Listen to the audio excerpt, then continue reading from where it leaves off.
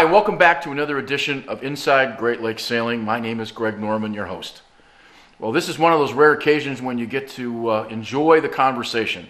We talked this morning with Gary Jobson, who is a uh, author, sailor, TV commentator, Emmy winner, um, probably one of the best sailors America's ever produced. He's uh, had a chance to witness every America's Cup since 1962. He's won a couple of Emmys.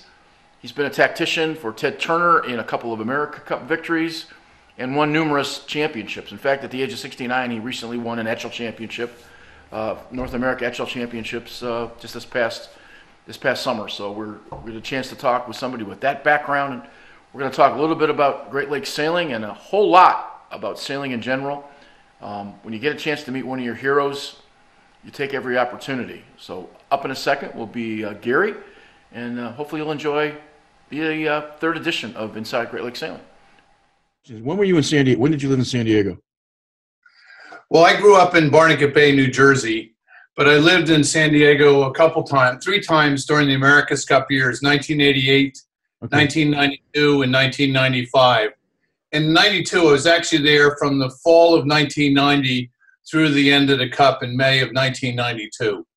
So I lived in Point Loma and uh, we had a kid in grade school, and uh, it was a good experience. So that that's where's my times living in San Diego. I worked for the San Diego Tribune for a long time. My only connection to San Diego history was that we was I was part of a, a group that helped put together the uh, Spinnaker that came out with the Surgeon General's warning when they had the charity race. You know, right.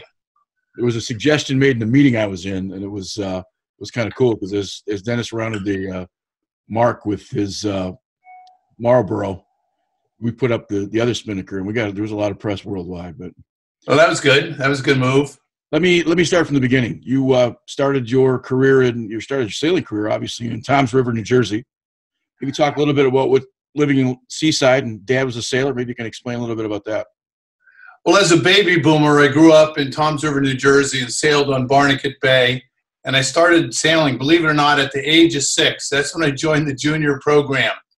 And I think the families that were having kids post World War II were very engaged with their children at the time, and I was lucky to be one of them. And for me, sailing was a summertime activity, starting in prams and then penguins, very cool boat, and then eventually scows, and then it went on from there. And uh, about the age of 12, I started sailing full time year round. Very unusual in the early 60s to be able to do, excuse me, frostbiting in the winter. So by the time I went off to New York Maritime College, I, I had a pretty good basis and fundamentals in sailing. And it was clear to me while growing up that my life's mission would be in the sport of sailing. I'm not sure what twists and turns it would take at the time, but I knew that I was going to be a promoter of sailing from the age of 12. You remember that moment? You remember that moment when it was the hook was there? Did, did, you consciously remember? I can. So at the age of 12, this family came down to our little yacht club, Beachwood Yacht Club in New Jersey. And I, uh, I was cleaning my penguin up. And this family came over and started asking me questions. What is this sport and how do you do it? And I sat there uh, explaining how the sport was working and how to do it. I'm 12 years old. The next weekend, there they are taking sailing lessons. And so I thought, gee, I inspired this group to uh, sail, and I've been doing it ever since. Obviously, on to college, you were an All American. So at New York Maritime, I had a great coach, Graham Hall. I sailed in 2,000 races in that four year career. 2,000. Excuse me. Sorry about the cough. I ate a peanut earlier. So I averaged five 500 races a year, sailed the nationals every every year, and uh, I was an All American three times and twice twice named College Sailor of the Year.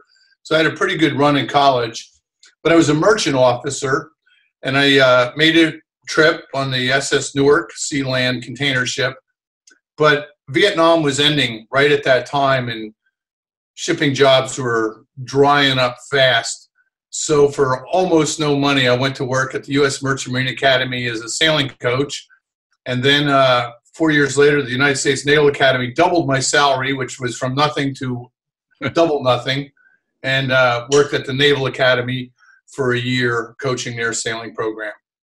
So I had a pretty good basis of teaching sailing and racing a lot, and uh, that launched me for quite a career after that. Where was the connection to big boats and maybe specifically Ted Turner? So I first met Ted Turner at the age of uh, 22 in 1972, and I'd sailed in a regatta in Barrington, Rhode Island called the Interclass Solo Championship. You sailed a different boat each day over three days. Uh, I ended up losing by one point to Robbie Doyle. He was an All-American at Harvard. And at the trophy ceremony, Ted Turner came along and he put his arm around me and his arm around Doyle and said, I don't know who the hell you guys are, but we're going to sail together. and uh, so after college, I started racing with Ted, and so did Robbie.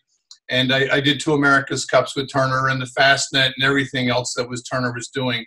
And that was a good run.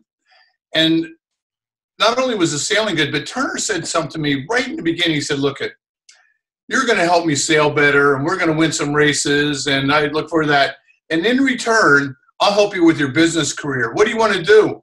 Well, you know, I teach sailing and write books. He said, Good. Well, he became quite the advisor to me, which led eventually to ESPN, my long career there, and all the media I've done over the years. So, have an advisor, the creator of CNN, Ted Turner, helping me with that sure paid off. Step up, to say the least. Yes, sir. Is he a genius? Ted Turner is a genius. And uh, what makes him so good is he has the ability to recruit good people. He's incredibly people loyal to the people he works with, and he's got wild ambitions. But he makes those vision, visions become a reality, and that's really the genius of Ted Turner to make things work, to figure out how to take a television signal, put it up on a satellite, blanket North America, and uh, coming up with the idea of well, people want to see news. I'll do 24 hours a day. People like watching movies. I'm going to buy movie studios. Well, people like watching sports. There's not many teams around Atlanta. I'll get the Atlanta Braves. And he actually pulled it off. And, you know, I, I can remember him telling me, Jobson, I'm going to be a billionaire someday. And, you know, I think they're okay, well, let's get the jib loaded on board. And, well, he did. And he had a dramatic influence in the world with CNN and all the other things he's done. Was he a sailor because he was rich or because he was a sailor who became rich? No, he was a sailor who became rich. Ted, uh, he grew up with it. His father was in the outdoor advertising business. His father actually took his life when Ted was in college, and I think the father, I believe, was 52 years old, not so old. Okay. And uh, so Ted took over the company. He somebody wanted to buy it for ninety thousand, and he turned it down, and so he launched his career from there. And I've often asked Ted, I said, you know, did sailing help your business career or your business career help your sailing? And and he'll say, well, I think the sailing helped me a lot. And probably the defining moment for Turner was winning that America's Cup when he went from the cellar aboard Mariner in 74 and won the cup in 77. I think that gave him a lot of confidence that he could launch things in a big way. And three years later, he launched CNN and in between he bought the MGM studio library.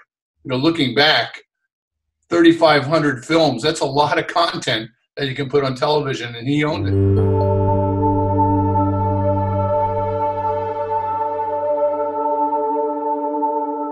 know that at that some point when you're sailing, you wanted a second career, obviously broadcasting, obviously writing, those kinds of things.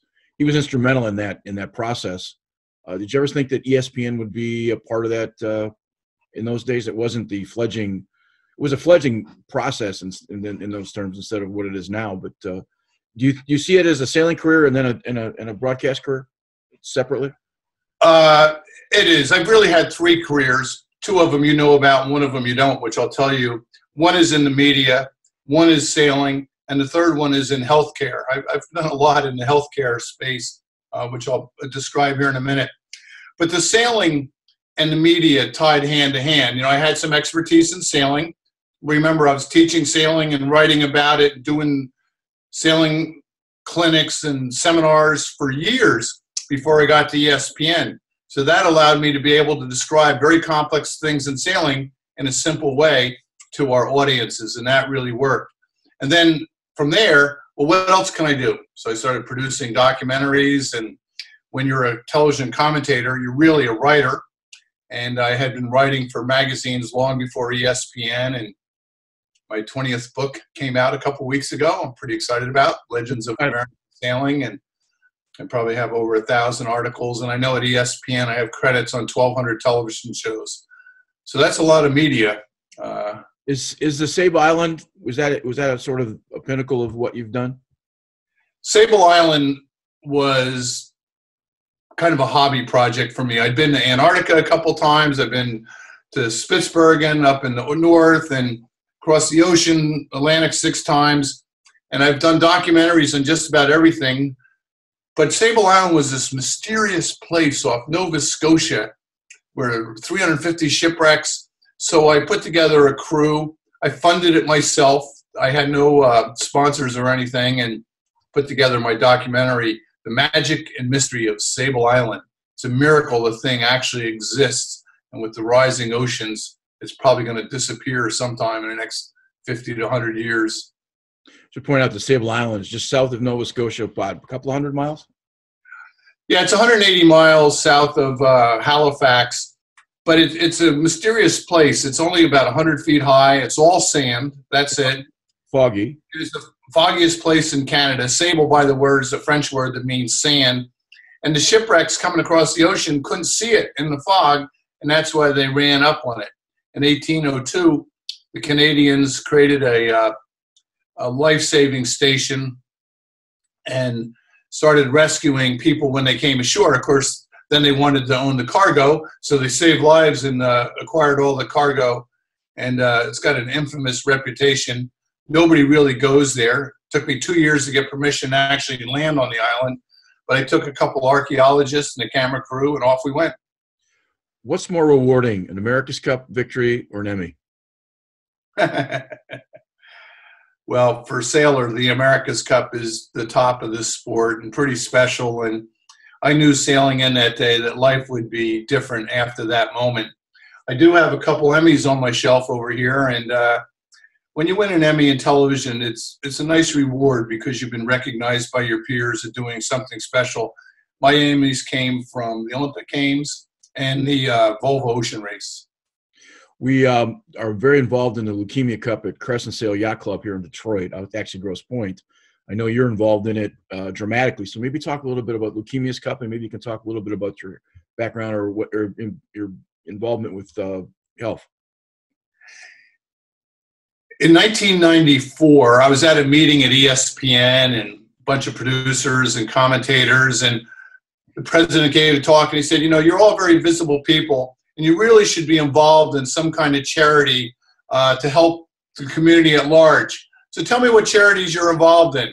And I put my hand up and said, Well, I help junior sailors. And he said, Well, that's nice, but you need to do something larger uh, for society. And a week later, I got a phone call Hey, we're going to have a regatta here in Annapolis and try and raise money for leukemia. And maybe you'd like to be our spokesman. Well, I didn't even know what leukemia was. So I went to this press conference. There were seven people on the committee and one writer and that was the press conference. One writer, seven people on the committee, and uh, I, I, was the spokesman for it. But the darndest thing happened. We had a 100 boats sailing the regatta, and at the end of the weekend, we could write a check to the Leukemia and Lymphoma Society for three for thirty thousand dollars. Pretty good. 1994. So Brano here, very dangerous to make a suggestion at a volunteer meeting. I put my hand up and said at a post meeting, you know, they're sailing all over the United States. We could do lots of these leukemia cups. I was told, what a great idea. Why don't you be our chairman? I took a deep breath, but I had the ESPN in my head. All right, I'll do it for two years. Well, that two years stretched to 25 years. And during that process, we raised well over $60 million. And the ironic twist of fate for me was 10 years later. So 19, uh, 2003, 10 years later, I got diagnosed with non-Hodgkin's lymphoma, one of these blood cancers myself. So in the end, I ended up being the recipient of all the money that we put into research so that I could be here talking with you today. When you got the diagnosis, I know you've been quoted as saying it was maybe the hardest thing you had ever faced, and mostly telling your family was the hardest thing you'd ever faced. Just sort of like a hammer dropping on you. You'd mentioned that in a couple of interviews. Yeah. Well, you know, I, I, knew I wasn't feeling well, and I went through test after test after test, and finally I go see the big doctor, and he's really solemn, and he's sitting there, and he says, uh, "Mr. Jobson," I'm thinking, "Oh my God, it's not Gary, it's Mr. Jobson." we have to report that you uh, have non-Hodgkin's lymphoma, and we're going to have some serious treatments. And I remember saying, "Well, Doc, I, I have uh, five lectures in California next week," and he said, "You're not going to travel next week, and you're not going to travel for the next six months. In fact, if we can help you here in the next 30 days, uh, we'll get you through that, and then you might have a life expectancy of uh, five to 15 years." And that hit me like a ton of bricks, and I could feel this tear kind of coming down my eye.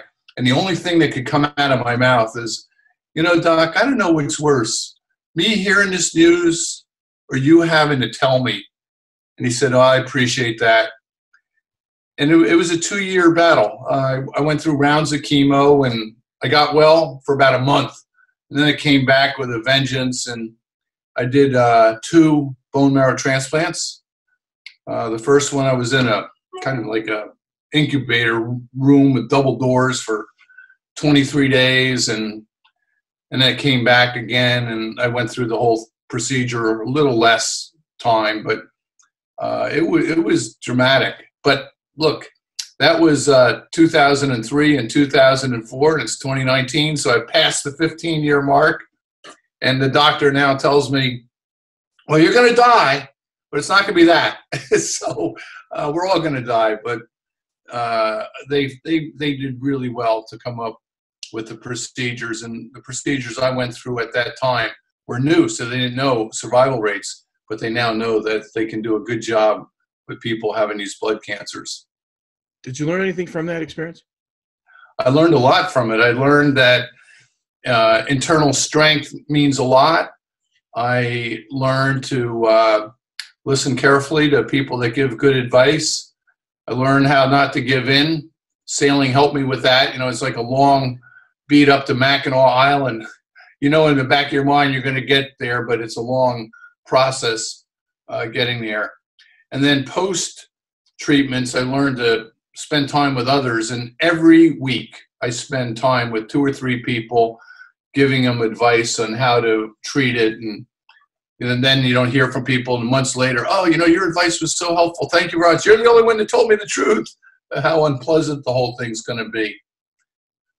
I think i think the lesson that i tell people is when you go through these treatments there's highs and lows. There's good days and bad days. So when you get a bad day don't get too upset and if there's a really good day don't get too excited either you just kind of flatten out that curve so that you're not getting emotionally up and down, but you just it's your job. Just be steady and work at it.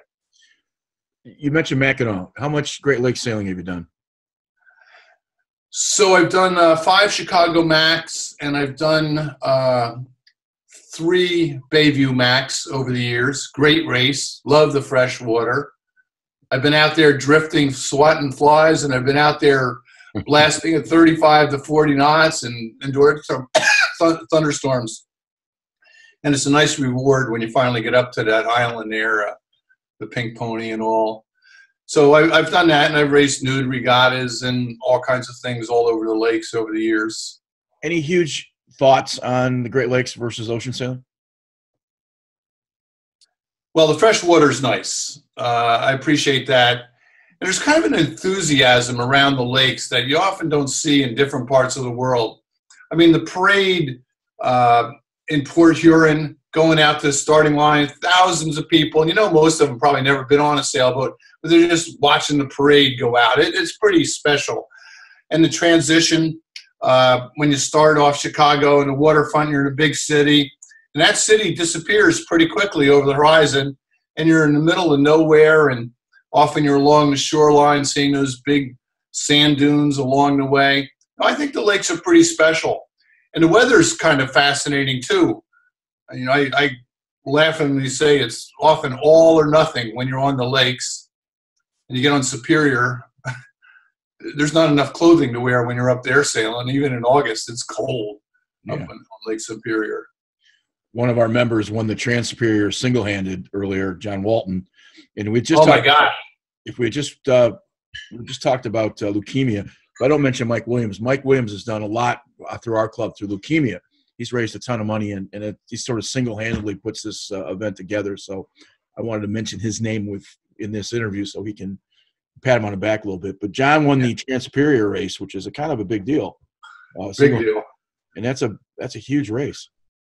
Well, it's a long way. It's cold. The weather's tough, and uh, if you can win that one, you've you've achieved something. That's a good one to notch on his belt.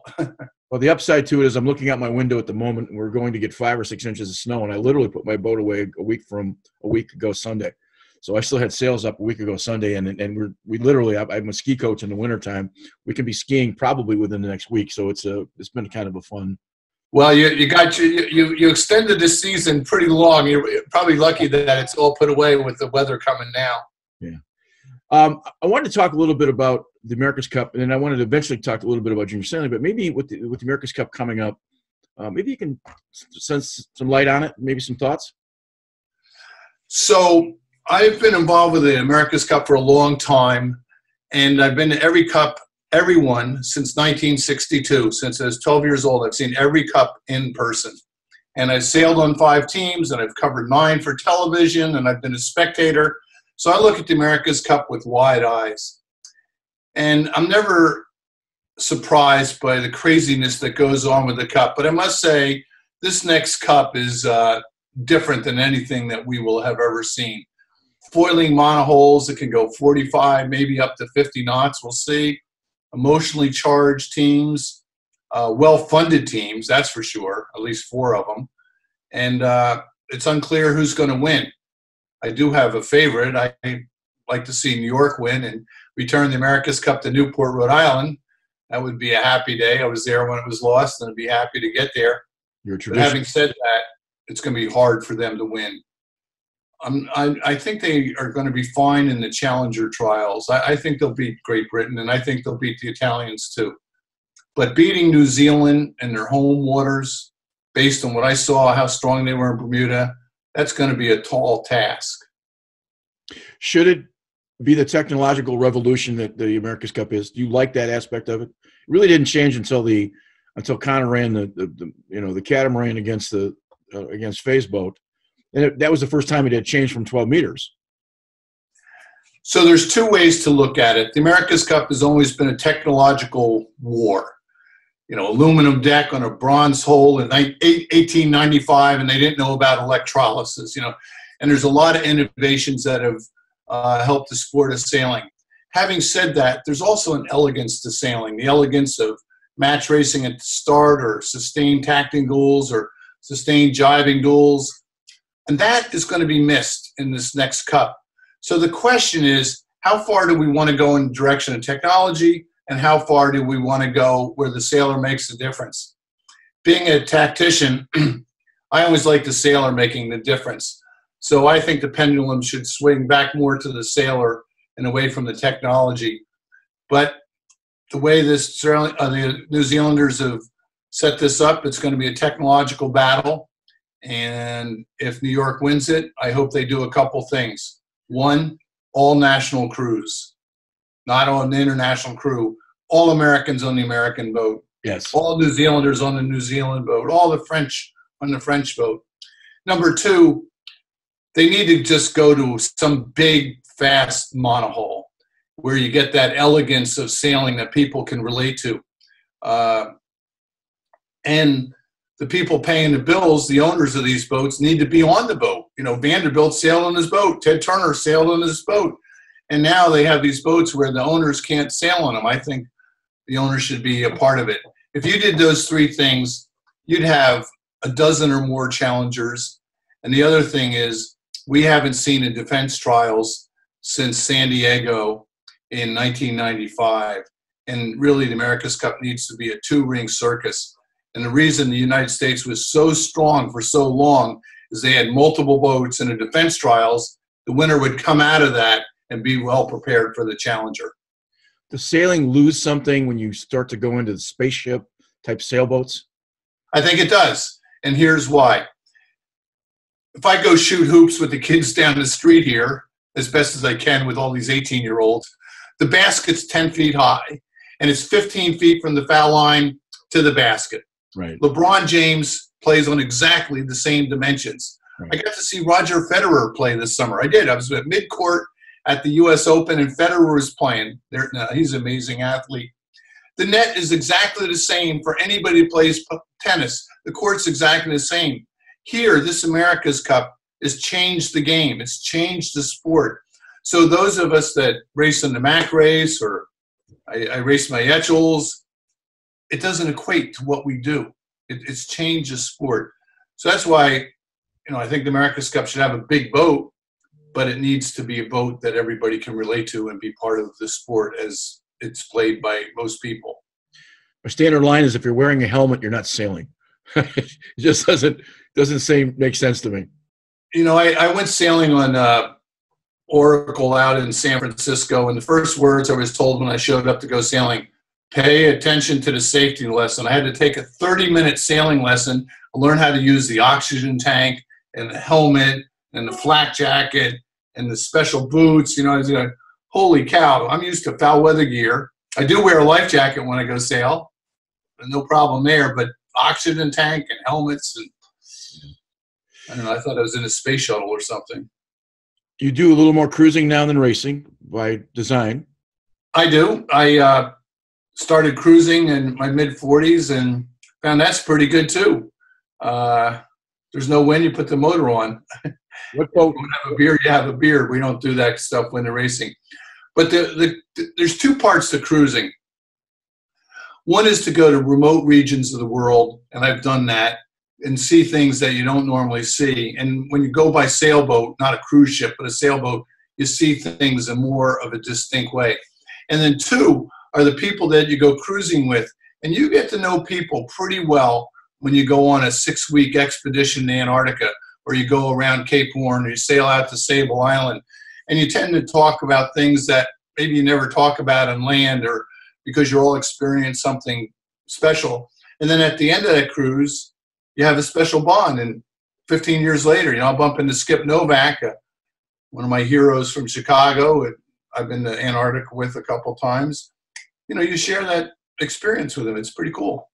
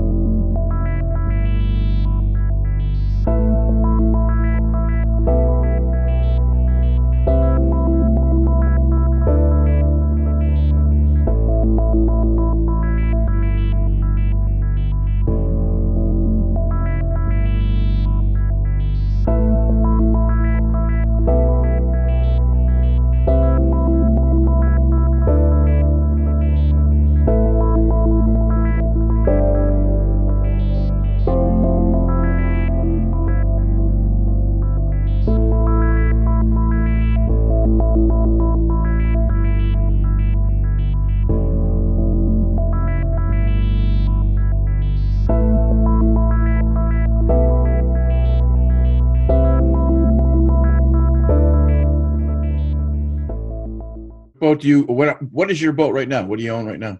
So right now I have a Hood 32. It's a beautiful classic boat, but it's got a modern keel. I'm going to show you a picture of it, and uh, it's got an electric motor, environmentally uh, Okay. conscious here. And let me just pull up a picture, and I'll show you what my boat looks like. Hold on, photos. Ah, Is this a a boat one can buy, or is this a boat designed for? Yeah, boat- no, you you it, you can uh, buy it. I I had it built. I'm just trying to.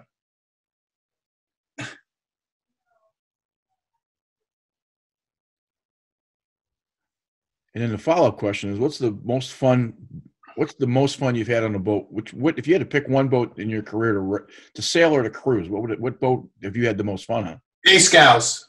Okay. Bay Scows. They're unbelievably fast. You know, you put seven or six six or seven people up on the side, and uh, they they really rock it. So I'm a big fan of Scows, E Scows or A Scows. Um, are pretty special boats. Okay, I'm I'm finding my boat. Here's a here's a picture of it. Okay. Get it up close here. Oh wow. I got a masted asymmetrical spinnaker. Notice that I launch it off the bow. Right. That's sailing by the U.S. Naval Academy there in Annapolis, and the thing really flies downwind. It, it, it, it's a rocket ship, um, and it sails nicely upwind. And like here, here's another picture with it Okay. Very going cool. upwind, self-tacking jib. I take my uh, grandkids out on it. There's some of my grandkids there. Look at that. Are They're waiting for me to go for a sail. Where's Grandpa? so that's that's the boat I have. I had a Swan 42 for a while and a Sabre 402 and Etchells and lasers and before the 2013 Cup, I jettisoned my fleet and have my day sailor. This summer, I, I sailed a lot this year, 2019. I did nine 12 meter regattas this year, two aboard Weatherly and nine, uh, seven aboard Courageous, nine altogether, two on Weatherly. And uh, it reminded me how special 12 meters are. You know, we had we had we had 22 12 meters racing in Newport, Rhode Island this summer. 22. Yeah. Crescent, where we belong, is a sail only club. There's no power boats, obviously, and it's Yeah, it's a great club. I've been there a few times. it's a wonderful facility. You started. Uh, you spent some time as a junior sailing coach. As a junior, you were also a junior sailor. I did.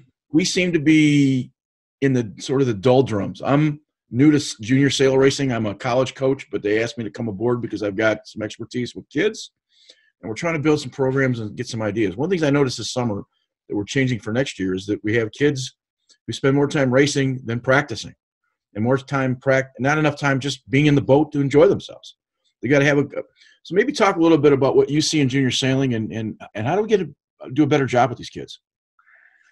So one of my criticisms of junior sailing at the present time is that we push too hard on the racing, and uh, with all due respects to coaches, too much coaching. You know, it's Thank you. coaches setting up the boats, and kids need to do it on their own. And as I look back on my days as a teenager on Barnegat Bay, I used to go day sailing all the time, just me or go out with a crew and a penguin. And I used to love sailing a long distance. You know, I, I kind of smile. Long distance probably went eight miles or something, but that was a long distance Right. when you're 15 years old and going out in Barnegat Bay with just the two of you. And my father said, "Make sure you wear a life jacket. Other than that, have fun." And uh, you know, kids need to just go out and enjoy it and sail around and and play. and I think Sandlot. I think it's Sandlot baseball. We don't do enough of that. Your kid can't go out in the boat without having somebody over overseeing them.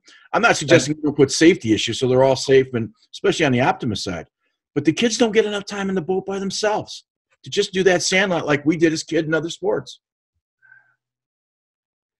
By yourselves or, or with one or two other kids in the boat where they're just out, you know, and it's okay to go for a swim. Or uh, I always like to pull up on the beach and just sit there and look out. And uh, and I've I've been doing that my whole life, even with all the America's Cup and Olympic classes and all the stuff I've done. Just going out for a sail is just one of the great joys in life. And we, we need kids to do that. Go from here to there, out to the island, and come back again, and sail in company. It it just relaxes you. Don't push too hard on racing. But when you race, race really hard, but do both of it. we try to point out to some of them here is that the U.S. national ski team uh, five years ago used to spend 60% of their time free skiing, 40% of their time actually practicing and racing, and that's actually up now 75% time free skiing. Because what you find is that the kids go out and push themselves into things you're working on anyway, because they want to make sure that they get better on whatever that technique might be. And I think that that has to happen in a lot of cases. You know, one of the things I say to kids when I speak to juniors in the sailing programs is be sure to play some other sport other than sailing. Know, Ah. Roger Federer was a, actually apparently a very good soccer player, and his parents said, "You're not just going to play tennis; you're going to play something else." And I, I played some basketball, and I also wrestled in high school, and the wrestling really helped my sailing career. one-on-one match racing. You got to be in good shape. It's all practice and preparation, strategic moves. I mean, wrestling's a really clean sport. There's a ref right there, and you're matched up against some of your own size. It's very strategic, and of course, you got to be in good physical condition. All those things apply to the sport of sailing. If you were describing this to a Martian, what would you talk to them about sailing? What is it that you love so much about the sport? Not all of all the experiences you've had. What's the one line that, that, that in your soul that, that you could say somebody that didn't know anything about the sport? Sailing's a sport that gives you freedom the freedom to be away from the land the freedom to go wherever you want to share the same passion of people that feel the same way. And when you're on a sailboat whether you're racing day sailing or cruising every 10 minutes it's different. The sun changes the sky changes the water changes the surroundings changes birds fly past there's other boats going by. And so you just kind of have this slow moving evolving experience when you're in a sailboat that you just don't really get anywhere else. And and most two things. One, you get to do it your whole life. You know, I, I played basketball. Believe it or not, I was on a basketball team on my college team. I got in every time we were up by 20 or down by 20. That's how much I played, up, up, or, up or down. Did you but learn you know, I don't really play basketball formally after, you know, in college. I did, but after that, I didn't. Sailing, uh, you know, I'm 69 years old. I did the 12 meter worlds this summer. We won the 12 meter North Americans and Opera House Cup. Uh, you know, so you can do it your whole lot age. The second thing sailing does, which is probably the most important at all, I don't know of any other sport that connects to generations as well as the sport of sailing. When you think about it, in your life, you get to know your parents, your grandparents, your siblings, and your peers, and your kids, and I'm learning now the grandkids. That's five generations, and you can always do it on a sailboat. No, not too many other sports can you do something like that, experience it together with across five generations. You mentioned that you sat on the bench as a basketball player in college. Yeah, I did. Now, you obviously are one of the most prolific sailors in American history, and you were a sort of a bench rider in basketball. Did you learn something from that? I did. That's a good question. Thank you very much. You learn a little humility you keep trying as hard as you possibly can so the coach recognizes that you're at practice on time and giving your full effort and trying and I, I got a, one of the kids on our team actually was really good at basketball. And in our yearbook, uh, he wrote the nicest thing. He said, if everybody worked as hard in practice as you did, we would have been all we- we- being champions, you know, and that, that was really good. Although I, I do joke that I was the only All American on that basketball team. All American sailing, not in basketball. Right. But no, it, it helped me out, and uh, the team aspect is so important. And uh, while you might not be on the court, other than the two or three minutes I got in each game, but you're very much part of it in the practice. And uh, you know, you take the role of the other team, so you always felt a little pride that you help your team get ready when you won the game. You were part of it. Well, listen, I appreciate so much. You, you, you're. Let me just a plug real quick. Your, your recent book was maybe just mention it. Sure. So it's uh, Legends of American Sailing. I wrote about 50 of the great sailors in this country. It's a new book, and uh, every single dollar, all of it, goes to benefit the National Sailing Hall of Fame. And I can tell you that from reading a number of your books, uh, especially American Sailing Journey, uh, Yeah. that was um, very heartfelt, and I've shared that book with a lot of people. Oh, thank you. and it's Thank uh, it's something we appreciate your time, your efforts. Certainly, you've meant a lot of things to sailing, and to spend some time with us. We're trying to help build some junior sailing programs. So let me just say thank you very much for your time. Okay. Thank you. Nice to talk to you. Okay, great. Thank Talk you. to you later.